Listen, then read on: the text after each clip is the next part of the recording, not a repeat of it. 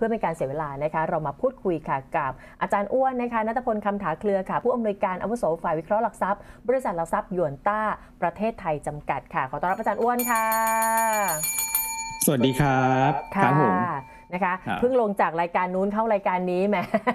สวัสดีอาจารย์อ้วนด้วยนะคะ คือตอนนี้ครับถามนิดนึงแล้วกันลักษณะเซตเนี่ยมันเข้าใกล้ที่จะแบบไปถึงจุดเสี่ยงเข้ามาทุกที แต่เหมือนว่านักลงทุนต่างๆ ก็ไม่แผ่วเหมือนกันเมื่อวานนี้จะเห็นว่าโปรเข้ามา น้อยๆกรุบๆเหมือนกันนะคะแล้วถือว่าเซ็ตไทยค่อนข้างแข็งมากๆเลยนะตอนนี้จะส่อแววไปในลักษณะเด้งสั้นลงลึกหรือเปล่าคะในช่วงใกล้การประชุมเฟดเนี่ยค่ะอืม ผมว่าถ้าเกิดดูภาพเซตตอนนี้เนี่ยมันก็อาจจะยังมีความหลอกตาอยู่บ้างนะครับ ว่าก่อนหน้านั้นเนี่ยดูเหมือนว่าตลาดหุ้นไทยจะoutperform ตลาดหุ้น ไม่ว่าจะเป็นตลาดหุ้นภูมิภาคหรือว่าตลาดหุ้นสหรัฐนะครับ เพราะว่าโดยหลักเลยเนี่ยมาจากการปรับตัวเพิ่มขึ้นของตัวหุ้นเดลต้าด้วยนะครับ ซึ่งผมยกตัวอย่างนะครับ อย่างอรอบไตรมาสสามที่ผ่านมานะและนี้เรา เอ่อเราจะจบไตรมาสสามอยู่แล้วนะครับ ตลอดไตรมาสสามเนี่ย SET Index ขึ้นมา63จุด เป็นของเดลต้าเนี่ย50จุดนะครับอืมเพราะฉะนั้นเพราะฉะนั้นเนี่ยเอ่อคือหุ้นตัวอื่นๆเนี่ยก็อาจจะขึ้นแบบไม่ไม่กี่ตัวครับ กระจุกกันอยู่ไม่กี่ตัวนะครับ ประเด็นก็คือว่าเอ่อถ้าผลออกมา นะครับแล้วตรงกันข้ามแน่นอน มันก็อาจจะเกิดการพลิกผันที่ที่รุนแรงได้นะครับ เพราะว่า index เนี่ยมีความหลอกตาอยู่นะฮะแต่ถ้าเกิดว่าผลออกมาแล้วไม่ได้พลิกผันเนี่ยผมคิดว่าเราก็มีแนวโน้มที่จะเอาเ r อร์ฟอร์มตลาดอื่นได้ต่อไปนะครับ คือตัวดู index เนี่ย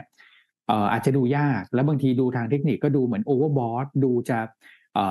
ต้องถึงขั้นที่แบบพอใกล้ๆพันเจ็ดต้องพักตัวลงแล้วอย่างเงี้ยนะครับ แต่ผมคิดว่าถ้าเกิด เอ่อเฟดนะครับรวมถึงเรื่องของข้อมูลเศรษฐกิจหลังจากนี้ที่ออกมาเนี่ยถ้ามัน support การไต่ระดับขึ้นของสินทรัพย์เสี่ยงเนี่ยเราอาจจะเห็นหุ้นไทยเนี่ยฝืนขึ้นไปเรื่อยๆ ก็ได้นะครับเพราะว่ายังไงเดลต้าเขาค้ำดัชนีอยู่แล้วนะครับเนื่องจากเขามีปัจจัยบวกเฉพาะตัวก็คือการกลับเข้าสู่ SET fifty และเซ็ตร้อยที่จะประกาศในช่วงกลางเดือนธันวานะฮะถ้าเกิดเดลต้าไม่ลงเนี่ยไอ้ห้าสิบจุดของเขาอะที่บวกมาก็จะไม่ถูกคืน นั่นแปลว่าอืมเราลงยังไงก็จะมีทุนของเดลต้าเนี่ยบวกอยู่ ก้อนหนึ่งห้าสิบจุด มันมันก็จะไม่ได้แย่อย่างแย่ก็คือลงไปแบบ แค่ประมาณสักสิบยี่สิบจุด ก็ไม่หลุดพันหกอยู่ดี แล้วก็ไต่ระดับขึ้นไปนะครับ คราวนี้ตัวแปรเนี่ยที่จะเอ่อไต่ระดับขึ้น หรือว่าจะพักตัวลงเนี่ยผมคิดว่าผมขออนุญาตแชร์ข้อมูลนิดหนึ่งแล้วกันได้นะคค่ะรับเชิญเลยค่ะน่าจะเป็นหน้านี้นะครับ ก็เอ่อคือผมว่าไฮไลท์หลัก ๆ ก็คงอยู่ที่การประชุมเฟดคืนนี้นะครับ ซึ่งถ้าเกิดเราดูในแง่ของการคาดการณ์ของนักลงทุนแล้วกัน นะครับเขามองว่าออดอกเบี้ยของเฟดนะครับ จะไปสูงสุดเนี่ยคือ 4.75%ในกลางปีหน้านะครับ แล้วก็ค่อยๆถอยลงมานะจนเหลือประมาณสัก 4.25%ในช่วงปลายปีนะครับ แต่ถ้าเกิดเรามองแบบ worst ไปเลยนะครับ ก็คือดอกเบี้ยเฟดเนี่ยเอาเป็นว่าตอนนี้ตลาดมองสูงสุดคือ 4.75 อันนี้คือภาพหลังจากที่ประกาศเงินเฟ้อนะ เงินเฟ้อวันที่ 13 กันยาออกมาตลาดคาด 8.1 ออกมา 8.3อืมซึ่งจริงๆเนี่ยมันชะลอตัวลงนะครับ แต่ว่ามันสูงกว่าคาดเนี่ย มันก็เลยทำให้การคาดการณ์ดอกเบี้ยที่ตอนแรกเราคิดว่าน่าจะไปถึงแค่ประมาณสัก 4%ในปีหน้า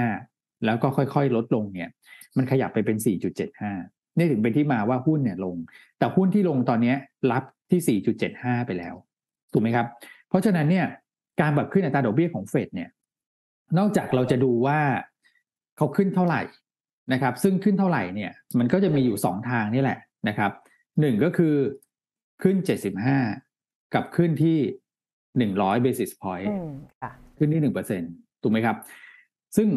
แปดสิบเปอร์เซ็นเนี่ย เขาเชื่อว่าน่าจะขึ้นตรงนี้ ที่เจ็ดเอ่อศูนย์จุดเจ็ดห้าเปอร์เซ็นตนะครับ ก็จะทำให้ดอกเบี้ยเนี่ยขึ้นไปอยู่ที่สามจุดสองห้า นะแต่สิ่งที่ตลาดต้องดูต่อก็คือว่าอะสมมติขึ้นแบบนี้ ไม่ใช่ว่าหุ้นจะขึ้นได้ในทันทีนะครับอืมต้องไปดูเงื่อนไขด้วย ว่าเฟดฟันเลทที่เขาคาดการณ์เนี่ย ก็คือตัวดอทพอตนะฮะค่ะที่เขาจะจุดจุดจุดๆๆตรงเนี้ยนะครับ อันนี้คือของเดิมอืมนะดอทพอตของเดิมนะครับ ปีเนี้ยผมคิดว่าเราไม่ต้องไปดูแล้วแหละนะเพราะว่ามันใกล้จบปีแล้วนะครับ แล้วมันก็เอ่อสิ่งที่เขาดูก็คือการดูอนาคตเนี่ยนะว่า เฟดเนี่ยมองดอกเบี้ยปีหน้าเท่าไหร่ เพราะมันมีผลนะครับ อย่างถ้าเกิดขึ้น 75 basis point ทำให้ดอกเบี้ยนโยบายเนี่ยขึ้นมาอยู่ที่ 3.25%เนี่ยถ้าเกิดว่าเขาเห็นว่าปีหน้าสมมติดอกเบี้ยจะไปอยู่ที่สูงสุดคือสี่เปอร์เซ็นมันสามารถคาดการณ์ได้เลยว่า หลังจากนี้เฟดจะขึ้นดอกเบี้ยแค่เจ็ดสิบห้า basis point แค่นั้นนั่นแปลว่าการขึ้นดอกเบี้ยจะเบาลงเยอะมากเลยครับ อืม แต่ถ้าเกิดว่าเกิดตัวเลขดอทพอตค่าเฉลี่ยออกมาอยู่ที่ห้าเปอร์เซ็นสมมติ นั่นแปลว่าเฟดมีโอกาสขึ้นดอกเบี้ยได้อีกเอ่อหนึ่งจุดสองห้าเปอร์เซ็นหรือเกินกว่านั้นได้นะอืมเพราะฉะนั้นเนี่ยการขึ้นในตราดอกเบี้ยเนี่ยตราเร่งเนี่ยมันอาจจะยังคงอยู่นะครับ ผมเลยบอกว่าขึ้น 0.75%ไปแล้วเนี่ยนักลงทุนต้องไปดูดอทพอตต่อนะครับ ถ้าเกิดดอทพอตปีหน้าเนี่ย ไม่เกิน 4.75 ซึ่งตอนนี้อยู่ที่ 3.8เองนะ ปีหน้าเนี่ย ปีมันยี่สามเนี่ยอ่า อันนี้คือการประมาณเมื่อเดือนมิถุนาคือทุกรอบไตรมาสนะครับ จะมีการเปิดเผยตัวเลขพวกนี้ออกมาด้วยนะทั้ง GDP ทั้งอัตราการว่างงาน ทั้งอัตราเงินเฟ้อแล้วก็ดอทพอตที่เป็นค่าคาดการณ์ดอกเบี้ยของ FOMC ถ้าเกิดตรงนี้ไม่เกิน 4.75 นะครับ ผมคิดว่าตลาดโอเคอืมจะเกิด buy on fact กลับขึ้นมา รอบเนี้ยต้องบอกว่าไม่เหมือนวันที่ 13 กันยานะครับ ที่ค่ะหุ้นขึ้นไปรอ เพราะคนคิดว่าเงินเฟ้อลงแน่ ๆ แล้วมันลงจริง แต่มันนั้นลงน้อยกว่าที่ตลาดคิด แต่รอบนี้คนไม่กล้าแล้วฮะคนขายมารอ ขายมารอก็แปลว่า ถ้าออกมาในหน้านี้ เป็นทางวิ่งขึ้นไปแบบนี้นะครับ เออขอโทษทีฮะเป็นทางวิ่งขึ้นแล้วโค้งลงอย่างนี้อ่านะอย่างเงี้ยหุ้นจะขึ้นนะครับอ่าอ่า แต่ถ้าเกิดออกมาแล้วขึ้น 0.75ปุ๊บแล้วเฟดฟันเลทที่ผมให้ดูดอทพอตเมื่อกี้มันเกิน 4.75%อย่างเงี้ยหุ้นจะลง เราไม่อยากให้เกิดตรงนี้นะครับ เราอยากให้เกิดตรงนี้ ส่วน อันนี้ก็น่าคิดเหมือนกันนะครับ แล้วการขึ้นในตราดอกเบี้ยครั้งเดียว1%ตอนแรกไม่คิดนะ แต่เมื่อคืนนอร์เวย์ดันขึ้นดอกเบี้ย ครั้งเดียว1%ธนาคารกลางของเขาทำให้ตลาดกลับมาคิดว่า เอ๊ะนอร์เวย์ทำได้เฟดก็ทำได้หรือเปล่า แต่ต้องบอกว่าต่างกันนะ เพราะว่าเขาเพิ่งขึ้น แต่เฟดเนี่ยขึ้น 75 basis point มาสองครั้งติดแล้วนะครับ เพราะฉะนั้นเนี่ยสองครั้งที่ผ่านมาเขาขึ้นมา 1.5%ถ้าเกิดครั้งนี้ขึ้นอีก 75 basis point มันคือแบบ 3 ครั้งขึ้น 2.25%ผมว่าเป็นการขึ้นที่แบบใหญ่ที่สุดของธนาคารกลางที่ขึ้นในปีนี้แล้วอืมนะเพราะฉะนั้นผมเลยคิดว่าตรงเนี้ยผมไม่เชื่อว่าจะเกิดขึ้นนะครับ ผมมองซีนารีโอเป็นแบบนี้นะฮะก็คือขึ้นเอ่อ75 basis point นะครับ แล้วก็ตัว Fed Fund Rate นะ dot plot เนี่ยไม่เกิน 4.75%อย่างเงี้ยหุ้นจะมี buy on fact หุ้นขึ้นนะครับแต่หุ้นขึ้นเนี่ยมันจะเป็นลักษณะแบบนี้ครับ ผันผวนอยู่สักพักหนึ่งนะเพราะว่ามันจะมีการปรับพอร์ตปรับไปปรับมาสำหรับคนที่แบบคาดการกันไว้ก่อนหน้านั้นคือคนที่ลดน้ำหนักมาก่อนเขาก็พอขึ้นมาเขาก็แบบเขาก็ต้องซื้อซื้อตามมันอาจจะทำให้แบบขึ้นไปเร็วนิดหนึ่งนะครับ ส่วนคนที่แบบอาจจะเกรงว่าเอ้ยเฟดน่าจะออกมาในรูปแบบนี้นะนะฮะอย่างที่ผมบอกเป็นกรณีที่ดีสุดเนี่ย พอขึ้นไปเขาก็ขายเพื่อลดความเสี่ยงออกมาก่อน นะครับเพราะว่าหลังจากนี้ก็ต้องมากังวลเกี่ยวกับเรื่องของ recession บ้าง กังวลเกี่ยวกับเรื่องของความขัดแย้งระหว่างประเทศบ้าง กังวลเกี่ยวกับเรื่องของการเปิดเผยตัวเลขเศรษฐกิจรายสัปดาห์บ้างนะครับมันก็เลยทำให้ตลาดอาจจะมีความผันผวนอยู่บ้างนะฮะแต่ถ้าเกิดออกมาในรูปทรงแบบนี้เนี่ยจะเป็นผันผวนเชิงบวกมากกว่านะครับก็คือขึ้นเยอะลงน้อย ขึ้นเยอะลงน้อยอยู่อย่างเงี้ยครับนะครับถ้าเกิดเราดูภาพเอ่อตัวของ S&P เดี๋ยวให้ดูให้ดูภาพนิดนึงนะครับ ตัวตัวของ S&P เดี๋ยวนะฮะ ผมลองแชร์เป็นตัวของกราฟให้ดูสักนิดหนึได้งค่ะแล้วนักลงทุนจะได้เห็นภาพนะครับว่าตัวของ S&P 500 เนี่ย คือเขาลงมารอฮะรอบเนี้ยเนี่ยฮะคือเขาลงมารอแล้วจริงๆนะคือก่อนหน้านั้นเนี่ย เห็นไหมเขาขึ้นไปมไปรอเงินเฟ้อแล้วมันผิดหวังแล้วมันเลยลงแรงมาก แต่รอบเนี้ย นอกจากคืนเงินเฟ้อกลับมาเขาลงมารอเฟดด้วยนะครับ เพราะฉะนั้นเนี่ยผมคิดว่าต่อให้ผิดหวังจริงๆนะ ดอกเบี้ยปีหน้าเกิน 4.75 เนี่ย การลงหลังจากนี้ก็ลงอีกไม่เยอะอีก 1-2%แล้วก็ยังไงก็ฟื้นอยู่ดี แต่ถ้าเกิดว่าออกมาในในทางที่ผมคิดว่าดีที่สุดคือดอกเบี้ยดอทพอตไม่เกิน 4.75 เนี่ยเขาจะค่อยๆ ฟื้นขึ้นไปเลย แต่ฟื้นเนี่ยจะเป็นซิกแซกกลับขึ้นนะครับแล้วก็มีช่องทางวิ่งพอสมควรนะประมาณสัก 4-5%ให้เขาฟื้นตัวได้ในสัปดาห์หน้านะครับผมมองผมอยากให้เกิดกรณีแบบแบบแบบที่เป็นภาพนั้นนะเพราะว่าหุ้นลงมารอแล้วด้วยนะครับ ก็เลย มองค่อนข้างที่จะเชื่อภาพเนี้ยครับ ภาพที่อืมที่บอกว่าเป็นเอ่อดอทพอตไม่เกิน 4.75%ครับผมค่ะนะคะก็จะเห็นว่าการประชุมในรอบนี้ค่อนข้างที่จะต้องใช้ความรอบคอบมากกว่า เรียกว่ามากกว่าเดิม อย่างที่อาจารย์อ้วนได้ได้ดูแชร์กราฟไปก็คือ ดอกเบี้ยมากไป ก็อาจจะพัง เกิดขึ้นน้อยไป ก็อาจจะเรียกว่าอาจจะไม่มันเหมือนแบบ มันจะไปซ้ายไปขวามันมีทั้งความกล้าแล้วก็ความกลัวอยู่ใน ตัวเดียวกันในครั้งเดียวกัน เพราะว่าเฟดจากที่เราบอกว่าก่อนหน้านั้นเขาก็บีไฮเดอร์เคิร์ฟมาตลอดตอนนี้ก็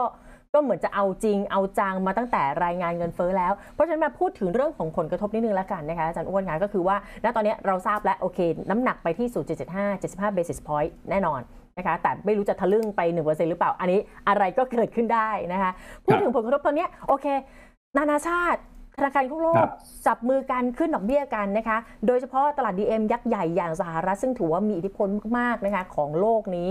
แล้วก็รองลงมาอีกท่านท่านหนึ่งก็คือทางด้านจีน แต่มันเหมือนคอนทราสต์กันสหรัฐขึ้นจีนลง ซึ่งในภาพเก่าๆเนี่ยเหมือนก็ไปด้วยกันแต่จีนเขาก็มีเหตุผลส่วนตัวเขาในว่าจะเป็นวิกฤตอสังหามีอะไรก็แล้วแต่มากมายไก่กองแบบนี้ถามนิดนึง เราอยากทราบถึงผลกระทบพี่ไทยอย่างเราเราๆซึ่งเราก็มี ความสัมพันธ์อันดีทั้งสองที่ แล้วก็ในเรื่องของการค้าการขายนะคะ ในมุมมองของเศรษฐกิจ และมุมมองของตลาดทุนมองยังไงคะคือเรื่องของความความที่ไม่ไม่ไปในทิศทางเดียวกันของนโยบายการเงินเนี่ย ผมว่า อันนี้เป็นเอ่อคำถามที่ดีมากนะครับ แล้วก็เป็นคำถามที่น่าคิดนะครับ คือนักวิเคราะห์เองเนี่ยเราก็ประเมินได้ว่าเอ่อสิ่งที่เกิดขึ้นเนี่ยเราเรียกว่าเป็นความเหลื่อมล้ำทางด้านนโยบายการเงินนะครับ ถ้าเกิดว่ามาไม่พร้อมกันเนี่ย ภาพมันก็จะเป็นอย่างที่เราเห็นนะครับ ถามว่าเราได้รับผลกระทบยังไงเนี่ยก็คือว่าฝั่งหนึ่งเขาขึ้นไปเรื่อยๆนะครับดอลลาร์เนี่ยมันก็จะแข็งนะครับ ในขณะที่อีกฝั่งหนึ่งก็ต้องประคับประคองเศรษฐกิจของประเทศตัวเอง เพราะฉะนั้นเนี่ยพอจีนที่เป็นค่าเงินสกุลสำคัญเนี่ยอ่อนนะครับ เยนญี่ปุ่นที่เป็นค่าเงินสกุลสำคัญก็อ่อนเหมือนกันเนี่ย มันทำให้ค่าเงินสกุลเอเชียเนี่ยอ่อนค่าโดยปริยายนะครับตั้งแต่ต้นปีเนี่ยเงินเยนอ่อนไป 25%นะครับเงินหยวนประมาณสัก 11%เงินวอนเกาหลี 14-15%ของไทยบาทก็ประมาณสัก 10%นะครับซึ่งตรงนี้เนี่ยถามว่าเออเงินอ่อนก็ดีสิ แต่จะเห็นว่าเราอ่อนปีนี้เราอ่อนน้อยกว่าประเทศคู่ค้าคู่แข่งของเรานะครับเพราะฉะนั้นเนี่ยมันก็จะมีผลเหมือนกัน ผลที่ผมคิดได้ที่ผมคิดได้นะก็คือว่าการดำเนินนโยบายการเงิน ทั้งฝ่ายที่แบบตึงตัวกับฝ่ายที่ผ่อนคลายเนี่ยค่ะผลมันจะไม่เต็มที่ครับ นั่นหมายความว่าเฟดเนี่ยอาจจะต้องตึงตัวนานกว่าที่เราคิด เพราะว่าตึงตัวไปแล้วเนี่ยสภาพคล่องมันถูกเติมมา จากจีนจากญี่ปุ่น ซึ่งเงินเนี่ยไหลไปทั่วโลกครับ เราไม่มีใครกั้นการไหลของเงินได้นะถ้าเกิดเขาขึ้นดอกเบี้ยเงินก็จะไหลออกจากจีนญี่ปุ่นเนยที่ปั๊มออกมาเรื่อยๆเนี่ยก็ไปอยู่ที่สหรัฐฝั่งสหรัฐที่ต้องการจะลดเงินเฟ้อก็เงินมันเยอะอะเงินเฟ้อก็จะลดลงได้ช้านะครับ ในขณะที่ คนที่ต้องการกระตุ้นเนี่ยครับจีนกับญี่ปุ่นเนี่ยเขาก็ผ่อนคลายเต็มที่ แต่ผลมันไม่ไม่เป็นแบบนั้น เพราะว่าในฝั่งยุโรปในฝั่งอเมริกาเขาต้องการชะลอเศรษฐกิจเศรษฐกิจเขาชะลอตัวเนี่ยนะจะดีเซชันอยู่แล้วเนี่ยกำลังซื้อที่มาจากอ่าที่ที่จะมาให้ฝั่งเอเชีย ฝั่งจีนเนี่ยมันก็จะลดลง เศรษฐกิจจีนก็จะฟื้นตัวได้ไม่เต็มที่ บทสรุปของเรื่องนี้ก็คือทำให้ประสิทธิภาพของนโยบายการเงินสองขั้วเนี้ยมันจะมีประสิทธิผลลดลง ผมใช้คำนี้แล้วกันก็คือผลลัพธ์ที่ออกมาเนี่ยมันจะไม่ได้ดีเหมือนที่เขาคาดไว้ เพราะฉะนั้นเนี่ยคนหนึ่งต้องตึงตัวอาจจะนานกว่าที่คิด คนหนึ่งต้องผ่อนคลายอาจจะนานกว่าที่คาดนะครับ มันก็เลยทำให้สถานการณ์เนี่ยมันจะเกิดลักษณะแบบนี้นะครับ เราโดนผลกระทบข้างเคียงก็คือ เงินบาทจะอ่อนค่าแบบผิดปกติ ซึ่งก็ไม่เป็นผลดีกับฝั่งที่นำเข้าวัตถุดิบเข้ามานะครับ ไม่เป็นผลดีกับเรื่องของต้นทุนการผลิต ไม่เป็นผลดีกับต้นทุนพลังงานของเราหลังจากนี้ นะครับเงินเฟอ้อที่เกิดขึ้นเนี่ยมันอาจจะค้างเติ่งอยู่นาน แต่ผมเชื่ออย่างนี้ครับว่า เศรษฐกิจจีนเนี่ยเท่าที่เราดูนะเราไม่ได้ห่วงเรื่องของภาคการผลิตหรือภาคค้าปลีกเลย เพราะว่าเขาลงมาแล้วเนี่ยใช้เวลาแป๊บเดียวกลับมาที่เดิมนะครับ แต่เราห่วงเรื่องของภาคอสังหา ซึ่งเราก็ยังมั่นใจเช่นกันแม้ว่า NPL จะเยอะ เรามั่นใจเช่นกันว่าเขารู้ปัญหาแล้วเนี่ยเขาน่าจะจัดการได้ แต่อสังหาจะใช้เวลาในการฟื้นเนี่ยประมาณสัก 6 เดือนถึง 1 ปี คือยาวนานมากนะครับ การฟื้นอสังหาในจีนเนี่ยประวัติศาสตร์บอกแล้วว่าใช้เวลาเยอะใช้พลังเยอะนะครับ ผมก็เลยมองว่าเศรษฐกิจจีนเนี่ยอาจจะผ่อนคลายได้สักพักหนึ่งเพื่อบูตในไตรมาสสี่ขึ้นมา แล้วพอจบหลังจากนั้นเนี่ยผมไม่คิดว่านโยบายทางการเงินมันจะ divergent กันแบบนี้ นะครับสุดท้ายจะ convergent ยกเว้นญี่ปุ่นฮะญี่ปุ่นเนี่ยเขาก็มีเหตุและผลของเขานะครับ เพราะว่าบอลเนี่ยเขาขายให้กับสถาบันการเงินในประเทศเป็นหลักการที่เขาไปขึ้นดอกเบี้ยเยอะๆเนี่ยสถาบันการเงินอาจจะต้อง loss เยอะเหมือนกัน แล้วมันก็จะกระทบกับตลาดทุนได้นะเพราะฉะนั้นญี่ปุ่นเขาคงนโยบายแบบนี้ไป แต่ถ้าเกิดพี่จีนเนี่ยผมคิดว่าเศรษฐกิจเขาฟื้นหลังโควิดภัยแล้งลดลงนะครับแล้วก็อสังหาริมทรัพย์ค่อยๆ ฟื้นตัวเนี่ยผมเชื่อว่าเงินหยวนจะกลับมา แข็งค่าให้จับตาวันที่ 16 ตุลาแล้วกัน การประชุมพรรคคอมมิวนิสต์เนี่ยผมว่าจะเป็นจุดเปลี่ยน และทำให้ความกังวลเกี่ยวกับเรื่องของเออภาวะ divergence ของนโยบายการเงินที่มันเกิดขึ้น แล้วทำให้เรามีผลกระทบข้างเคียงที่ไม่ดีแบบนี้นะครับ ผมคิดว่ามันก็จะค่อยๆเบาลงหลังจากวันผ่านวันที่ 16 ตุลาไปนะครับ อืมนะคะแม่นะคะเดี๋ยวเหลือเวลาประมาณสัก 2 นาทีนะคะอาจารย์อ้วนถามนิดนึงแล้วกันณตอนนี้เหลือไม่กี่ ชั่วโมงแล้วนะคะจะทราบผลก็คือเช้าวันพรุ่งนี้ ถ้าเกิดว่าในช่วงที่เห็นแบบตลาดไทยแบบเราก็ยังไม่รู้วันนี้เนี่ยภาพเซ็ตเนี่ยในมุมมองเนี่ยจะมีการย่อตัวลงมาในแดนลบหรือเปล่าหรือยังยืนอยู่ในแดนบวกแบบนี้ เพราะว่ามันเสี่ยงมากๆแล้วนะคะ ถามว่าเรายังพอแนะนำนักลงทุนหาช่องทางในความผันผวนแบบนี้ได้หรือไม่หรือนั่งทับมือนิ่งๆ ดีกว่าคะอาจารย์อ้วนแนะนำยังไงดีคะ ครับก็ถ้าเกิดรับความเสี่ยงได้น้อยเนี่ยแนะนำก็คือรอดูไปเลยนะครับไหนๆรอมาขนาดนี้แล้วนะครับ แล้วก็ถ้าเกิดว่าจะไปลงทุนช่วงนี้ผมคิดว่าเราหาตัวเลือกได้ไม่ไม่ไม่ง่ายนะครับ ตัวเลือกเนี่ยในการลงทุนเหลือน้อยลงนะครับ แต่ถ้าเกิดนักลงทุนที่รับความเสี่ยงได้สูงนะครับ ก็อาจจะเป็นลักษณะของการเก็งกำไรหุ้นขนาดกลางขนาดเล็กนะครับ เพราะสิ่งที่จะเกิดขึ้นคืนนี้ผลการประชุมเฟดเนี่ยนะสมมุติออกมาแล้วผิดคาดเชิงลบนะครับ อันแรกที่โดนเนี่ยคือหุ้นใหญ่ นะเพราะว่าฝรั่งเนี่ยเขาจะต้องขายเพื่อปรับพอร์ตเขาซื้อหุ้นไทยมาเยอะนะครับ ปีนี้แสนห้า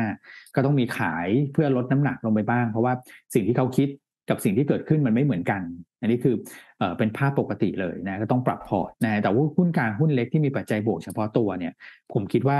เอ่อถ้าเกิดลงก็ลงน้อยกว่าแล้วกัน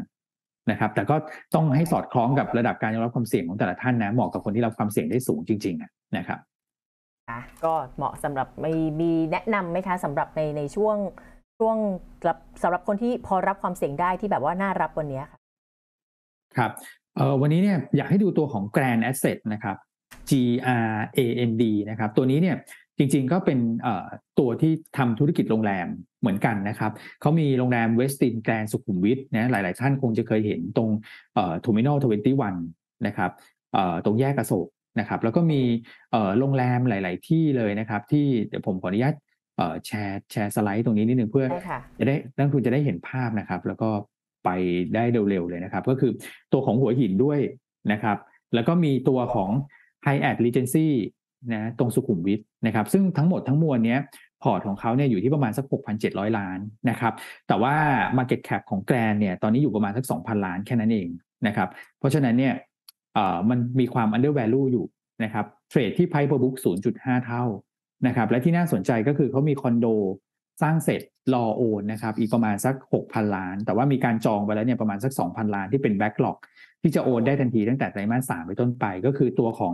ไฮสุขุมวิทไฮสุขุมวิทนะครับ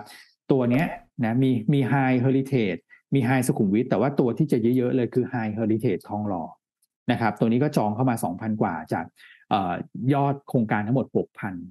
นะครับผมก็เลยคิดว่าในช่วงไตรมาสสามไตรมาสสี่โรงแรมของเขาเนี่ยตอนนี้ก็เต็มนะครับแล้วก็มียอดขายคอนโดเข้ามาด้วยนะก็จะทำให้ผลประกอบการของเขาเนี่ยออกมาดีนะครับจากขาดทุนพลิกกลับมามีกำไร อันนี้ก็เป็นธีมรีโอเพนนิ่งที่ยังเหลือไม่กี่ตัวครับที่ราคาหุ้นกองอยู่ด้านล่างนะครับ แน่นอนว่าเหมาะกับคนที่รับความเสี่ยงได้สูงแหละนะเพราะว่าหุ้นตัวนี้ต่ำบาทนะครับ แต่จุดเปลี่ยนเนี่ยผมเห็นอะไรนะครับ ก่อนหน้านั้นราคาหุ้นเนี่ยถูกกดดันจากเรื่องของหุ้นกู้แปลงสภาพ เขาขายหุ้นกู้แปลงสภาพ อันนี้คือช่วยชีวิตเขานะครับ เพราะว่าตอนที่โควิดหนักหนาสาหัสเนี่ยเพิ่มทุนก็ไม่ได้นะครับ ออกหุ้นกู้ก็ไม่มีคนซื้อนะครับ แต่ก็ออกหุ้นกู้แปลงสภาพก็คือ ให้สิทธิ์คนถือเนี่ยแปลงเป็นหุ้นสามัญเขาก็ซื้อนะครับ ปรากฏว่าแปลงมาก็มาขายหุ้นในกระดานทำให้ราคาหุ้นเนี่ยมันไม่ไปไหน แต่ณตอนนี้เขาหยุดขายมาตั้งแต่มิถุนาแล้ว